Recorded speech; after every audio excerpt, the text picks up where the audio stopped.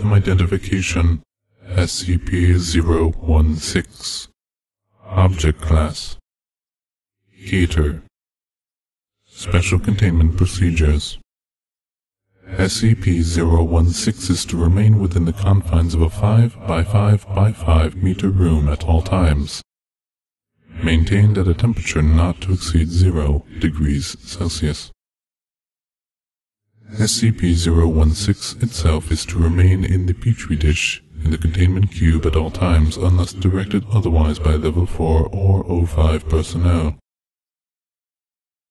Full documentation of experimentation with SCP-016 must be submitted before and after samples and duplicates of SCP-016 may be taken. Failure to follow these procedures will result in termination or reassignment by Class D personnel. Only authorized personnel may be permitted to obtain samples of and experiment with SCP-016 under BCL5 containment conditions. If an outbreak does occur despite following the aforementioned procedures, Directive-based personnel are to implement a Code Sigma lockdown and containment plan. Infected personnel are to be terminated on site by security forces wearing standard mission-oriented protective fascia, anti-biological and anti-chemical equipment. Should the infection not be contained after 48 hours, the on-site nuclear device is to be detonated. Remaining personnel are not to be evacuated under any circumstances. SCP-016 has been shown to survive for up to 6 hours in blood and up to several minutes in air. High-intensity ultraviolet light and high concentrations of chlorine bleach have been demonstrated to be effective in sterilizing non-organic materials. Description SCP-016 is a blood-borne pathogen recovered from a mine worker who injured himself while working in a deep coal seam.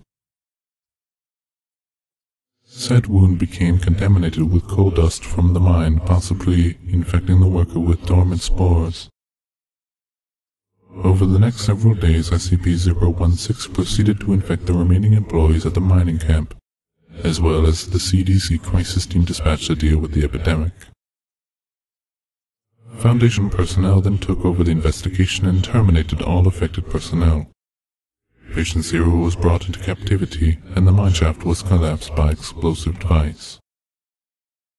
SCP-016 has an incubation period ranging from 24 hours to 2 years, depending on the presence and number of other human hosts in the area.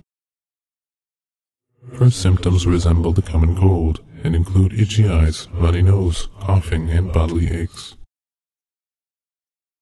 Phase 2 begins in 48 hours and consists of a controlled form of hemorrhagic fever.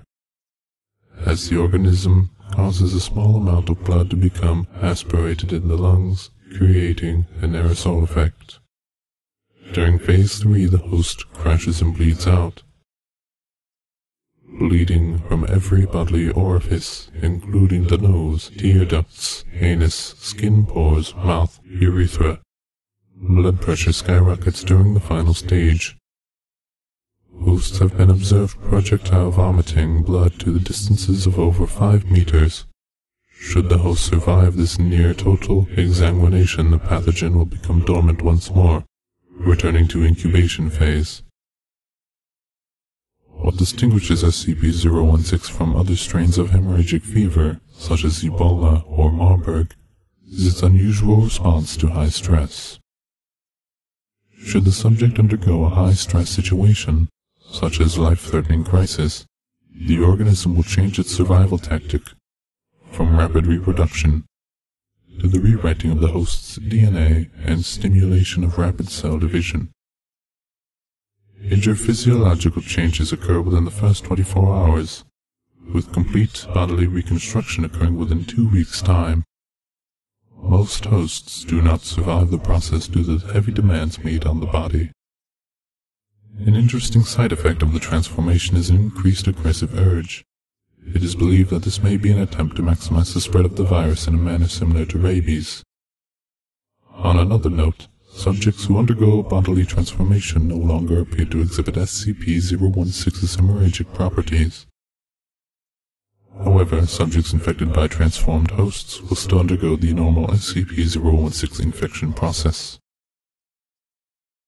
Addendum Experiment log of SCP-016 transformative properties Subject D-016-1 D-Class personnel infected by SCP-016 Upon first showing symptoms, subject's quarters were slowly flooded with water over a 24-hour period.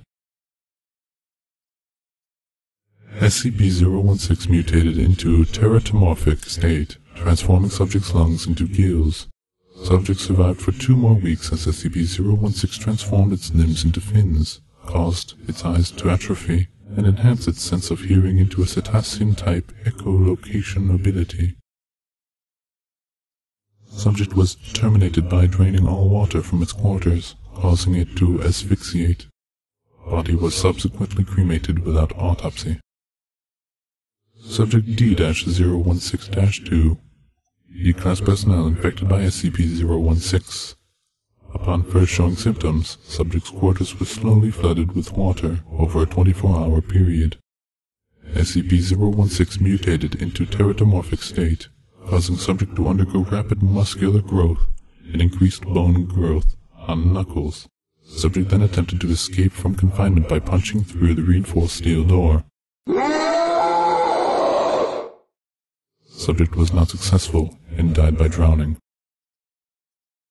Subject D-016-3 D-Class personnel infected by SCP-016. Subject was previously a chemical engineer who poisoned his wife upon discovering her adultery.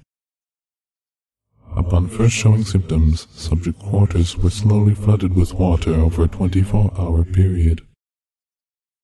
SCP-016 mutated into teratomorphic state, causing subject to grow an unusual organ on his chest, consisting of a chamber with two separate tubes. Organ continued to take in water and swell in size, until Foundation personnel, realizing what SCP-016 may be attempting, terminated the subject by gunshot. Organ was found to contain several gas sacs filled with acetylene gas and oxygen, Subject D-016-4 D-Class personnel infected by SCP-016.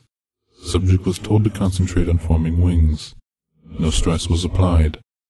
SCP-016 did not mutate into teratomorphic state. Subject died of exsanguination during Phase 3. Subject D-016-5 D-Class personnel infected by SCP-016 Subject was told to concentrate on forming wings and placed in an acrylic box suspended 305 meters above a mine shaft. A timer was placed outside the box, which subject was told indicated the time to release. SCP-016 mutated into teratomorphic state, causing subject to grow a tentacle-like organ on his left wrist similar to a spider's spinnerets. Subject extended said organ through one of the box's air holes and extruded a strong cyclic substance, which it then used to secure the box to the cable. Subject was terminated when the countdown reached zero and the bomb detonated.